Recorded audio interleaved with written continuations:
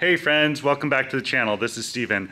So I wanted to do a video on the Road Active Suspension System that's been on the Tundra for about a year. I get a lot of comments on the Andersen weight distribution hitch video that I did and also the Tundra towing video that I did and I'll put links to those in the description about payload, right? So towing a travel trailer about a thousand pounds tongue weight on a half ton truck, how does that work out? And there's a lot of factors that are included um, that have to do with the weight distribution hitch and overall just how does the Tundra handle that weight. And I've talked about, um, get a lot of suggestions on, on solutions and I love those comments. Please keep those coming. But I figured it was about time to do a review of the road Active suspension that's been on the Tundra. So uh, stick with me, all that coming up right now.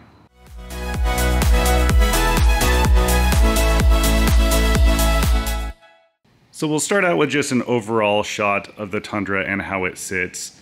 Um, if you've looked at some of my other videos, you'll know that this has an Elka suspension system on it. It's basically a two and a half inch, or it's set, it's coilovers, but it's set at two and a half in the front. And prior to the RAS system there, I had installed a one inch MaxTrax shackle in the back. So it was sitting pretty darn close to level before. So stepping back here, you can kind of get an idea of how it sits now. There is a little bit of rake, not as much as they come with stock. I'd say half to three quarters of an inch rake up towards the back. I like the way it sits like this and it's better for when you put a load on the back, it levels out pretty well. So the RAS, as it sits, probably lifted the back about a half inch from from where it was. It was all, darn. It was almost perfectly level before, and it's probably about half inch to three quarters higher in the back. But I quite like how it sits, like I mentioned, and I think uh, overall, once I started using this for towing more often, uh, it's a good it's a good stance for it to have. Okay, so I've taken the wheel off to get a better view here. Uh, this isn't an installation video, but I will show you a few unique things to at least my installation. Of course, remember yours might vary. I've got the Elka kit on here.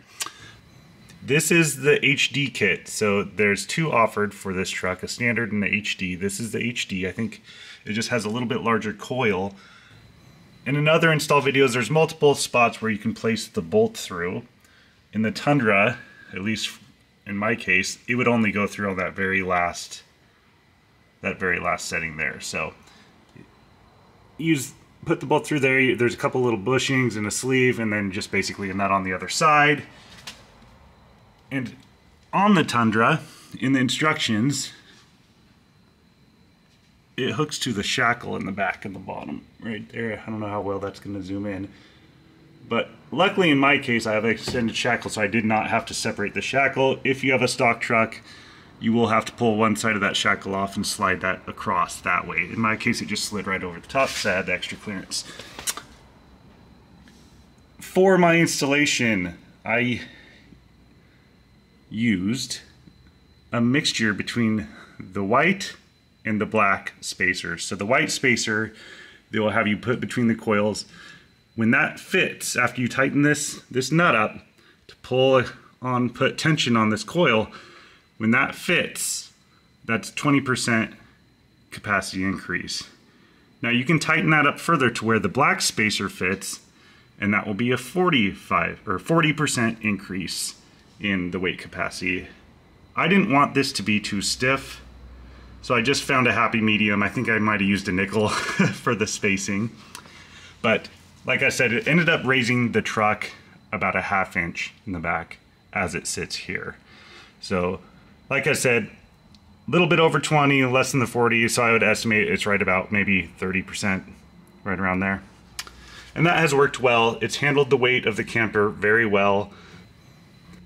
Part of the reason I went with the RAS kit and not like an airbag is I didn't want to deal with running airlines and, you know, having to pump those up, take those out. And I also, you know, with this this truck, I've got it set up to where I like to go off-road with it to a some degree and also drive it around. So it serves all these different uses. And I was afraid with the airbags that it would really stiffen up the ride on those. And so that's why I went away from airbags. Another option is that Timbren bump spacer, basically an extended bump stop. Uh, really wanted to decide against that. Basically it would ride the same until it hits here. And then it's almost like you know, riding on the bump stop. I understand it might be a little bit softer or or that type of thing. But basically, if you put a heavy trailer on it with that extended Timbren bump stop, there might be a spring in there. You know, I'm not, I don't have that, so I can't talk too much about it.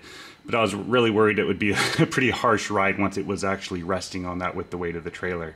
So this this works well. This takes up, um, makes it the truck handle the weight better. It does not affect the daily drive too much. You will notice with unloaded weight it is a little bit stiffer. It's a little bit higher spring rate. Some people prefer that in the Tundra platform. It does take away some of the side to side lean you might get, although with this suspension that I have on here, that was well controlled anyway. I've got it dialed in with the uh, adjuster knobs, but a lot of people say if you put these on, you won't feel like you need a sway bar. And these trucks don't come with a sway bar. There is a TRD sway bar you can add, but you know, sway bars limit your articulation in off-road situations. So, you know, my goal is to have as much travel as possible, but still be able to handle the weight of the trailer. And that's a compromise, right? Anything you do to handle the weight is going to stiffen up the suspension to some degree. So this looked like the best compromise. And what I liked about this is I can adjust it. If I'm finding that it's not performing how I want, I can tighten it up or if I find that it's too stiff, I can loosen it down. And then combination with the Elka suspension, I can really dial this in. And I've got it pretty well set now. If you reference back to my earlier videos, the Tundra towing video did not have the RAS kit on it. And you can kind of see how it sat then. And I've also done some dialing in of that Andersen hitch. The kit with the Andersen hitch does have the RAS kit on it, or the video with the Andersen hitch does have the RAS kit on there. So you can kind of see a difference in where it sits there. I also adjusted the height of the hitch and I've done some other things, but it's definitely a noticeable difference in how it tows and handles the load with the RAS kit. It's more stable. It doesn't wallow around. Not that it did before. It actually, this Tundra really towed quite well. The only thing I was trying to get past was kind of the sag in the back. And the Andersen does leave some things to be desired as far as its capability for handling or distributing the weight back to the front axle. It doesn't do as well as some of the more traditional setups. So to supplement that RAS kit, it's worked out quite well. Like I said, not an installation video, but you can kind of see how the HD kit looks on the Tundra. Very simple install. When you install it, you don't want to lift it up by the axle like I have here. I'm just doing this for the video. You have to lift it by the frame so the so the leaf springs can rest and and then you can set your proper spring rate at, at that platform or that level. So overall, RAS has been a great addition to the truck. It's not a heavy solution, which I'm always trying to keep an eye on payload and weight. So anything that you add to the truck, such as this, maybe weighs 50 pounds, will reduce your payload to some degree, even though it won't make you handle the, the weight in the back better. Down the road, I may look at getting a different hitch setup, but I will likely still keep the RAS kit. Like I said, it's I've gotten used to the spring rate and I kind of like how the truck is riding just a half inch higher in the back. And I think it it turns the leaf spring and suspension a little bit more active. And I think that's why they call it road active it just handles a bit better and I can really dial it in with that suspension. Tows better, corners better.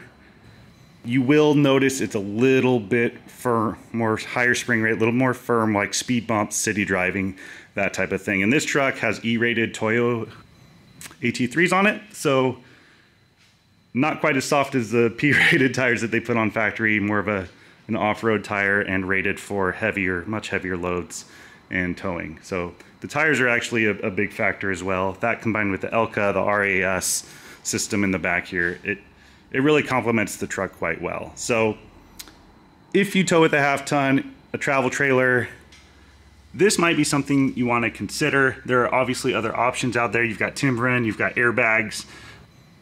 Everybody's got their own, you know, preferences.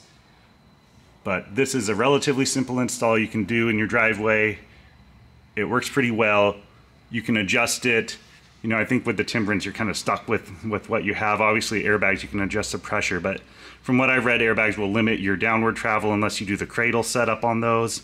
And Timbrens will limit your up travel. So this is the only one that really allows your suspension to travel as designed, but it does increase the spring rate a little bit. And you'll have to be aware of that it's a compromise for, for towing around heavier things. So real quick before I wrap up here, I did get a comment on one of my uh, review videos with a bulleted list of items that someone wants to see. Not really how I do it, but for those of you that want that type of content, I made a quick list and maybe that'll help you out. So pros, let's go over the pros of this real quick. It's a simple installation. You can do it with your basic hand tools. You don't need a lift or anything like that. You can throw it up on jacks and, and be done with it. It's a simple design. It doesn't require like air lines or anything like that. You just kind of set it on there and you forget about it once you've got it dialed in. Um, another pro is it uh, still allows for your full suspension travel, right? You can still get all the way your up travel, all the way your down travel. You don't have to mess with anything. And obviously the increased load handling as designed to do. Um, some adjustability, I, I think that's still a pro you can go in there and you can adjust the coil either higher, you know, stiffer or softer, and then that'll affect how it handles the load capacity. It's limited because you've got to actually take your wheel off and go in there and wrench on the thing. So um, that would also be a con is the limited adjustability, which is a great segue into the cons of this product. Um, it's not as precise as airbag. So if you're someone that, you know, loads up varying different loads all the time and you want that truck to sit perfectly level, you need that variability to be able to put the different air pressures in the airbags. This isn't going to be that solution. It would just be too much work to adjust this for every single load. You'd have to take the wheels off and etc. It wouldn't be a good solution for you. Um, a static increase in ride height, that might be a con for some people. This truck is about, like I said, half inch to three quarters taller, set at about 30% with the RAS system. I like how it sits. It doesn't bother me, but someone else might have it perfectly level and not like that little bit of rake that it's gonna add to the truck. It, it will lift the back of the truck some.